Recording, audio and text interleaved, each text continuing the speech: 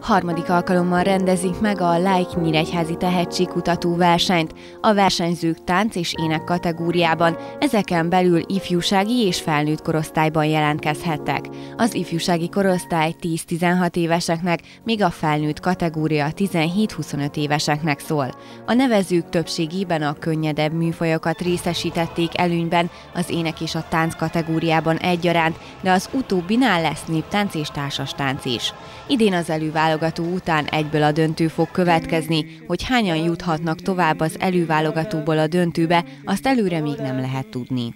Igyekeztünk olyan zsűrit összeállítani, akik valóban ö, szakemberőkből állnak.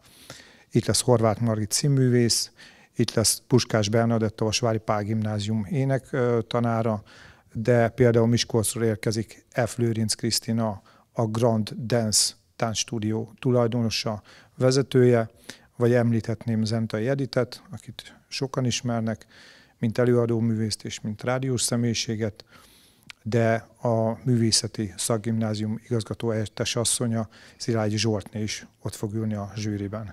Az előválogató október 21-én szombaton lesz megtartva a Váci Mihály Kulturális Központban, a döntőre pedig december 2-án kerül sor.